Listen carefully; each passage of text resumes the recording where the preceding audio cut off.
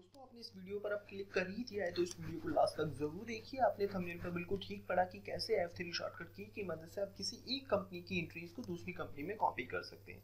तो आइए स्टार्ट करते हैं। Welcome to the professional accountant और मैं हूँ सैफी दोस्तों, देखिए, हमारे पास दो कंपनी है लिस्ट ऑफ़ कंपनी में, एक प्रोफेशनल अकाउंटेंट और दो the professional accountant the professional accountant वो कंपनी है जिसके अंदर डाटा है और प्रोफेशनल अकाउंटेंट वो कंपनी है जिसके अंदर मुझे डाटा कॉपी कर लेना है। आपने भी क्या करना है? आपको दोनों कंपनीज़ ओपन कर लेनी है। एक तो वो कंपनी जिसके अंदर आपका डाटा हो और दूसरा वो कंपनी जिसके अंदर डाटा आपको कॉपी करना हो।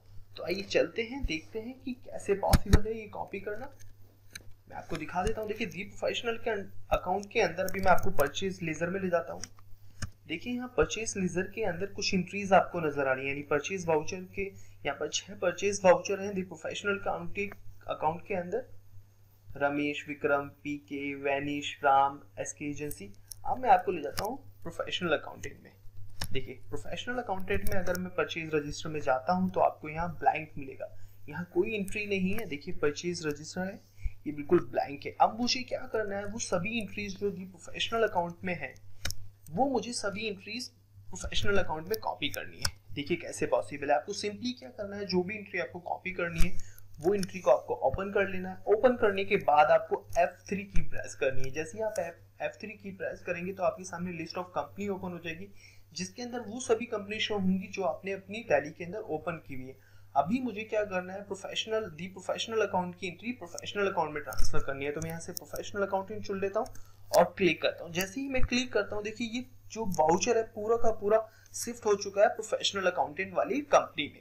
अब मुझे सिंपली यहाँ से कंट्रोल ए प्रेस करना है ताकि ये एंट्री मेरी यहाँ सेव हो जाए। देखिए, मेरी एंट्री सेव होगी, उसके बाद सेम नेक्स्ट एंट्री के लिए सेम प्रोसेस मैं क्लिक इस पर एंटर करता हूँ, फिर F3 से मैं वो कंपनी चूज़ कर लेता हूँ जिसके अंदर मुझे एंट्री कॉपी करनी है। देखिए, फिर से मैंने कॉपी कर लिया और कंट्रोल ए से मैंने इसको सेव कर लिया।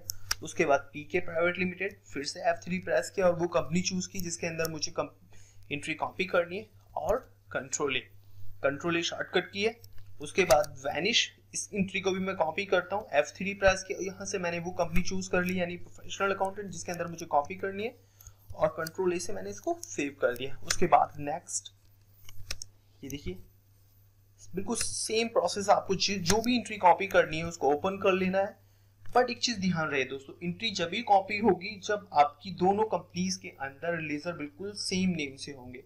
उनमें स्पेस का भी जरा भी फ़र्क नहीं होना चाहिए अदरवाइज़ ये आप कॉपी नहीं कर पाएँगे। यानी कि एफ़ थ्री शॉर्टकट की यहाँ काम नहीं करेगी। तो आइए चलते हैं, देखते हैं ये कैसे पॉसिबल है कि वो एंट्रियाँ क्या वहाँ कॉपी हुई या नहीं हुई। अब मैं आपको ले चलता हूँ प्रोफेशनल अकाउंट वाली टैली पे। मैं प्रोफेशनल अकाउंट की टैली देखा, आपके सामने खुल गई है और मैं यहाँ परचेज रजिस्टर पर जाता हूँ। देखिए हैना कमाल की शॉर्टकट की सारे की सारे वाउचर्स मेरे यहाँ कॉपी हो चुके हैं। तो होप सो आपको समझ आया होगा कि एफ़ थ्री शॉर्टकट की, की मदद से आप कैसे किसी एक कंपनी की एंट्रीज को दूसरी कंपनी में कॉपी कर सकते हैं। तो दोस्तों अगर ये वीडियो आपको पसंद आया तो प्लीज़ हमारे चैनल को सब्सक्राइब कीजिए साथ ही बेल आइकन पर भी क्लिक कीजिए ताकि आपको जब भी हम कोई अब न्यू ट्रिक की वीडियो अपलोड करें उसकी नोटिफिकेशन आपको मिल सके। साथ ही अगर ये वीडियो आप हमारे फेसबुक पेज पर देख रहे हैं तो हमारे फेसबुक पेज को भी लाइक कीजिए ताकि हम जब भी कोई वीडियो अपलोड करें वो आप सबसे पहले देख पाए। तो मिलते हैं नेक्स्ट वीडियो में तब तक के लिए बाय बाय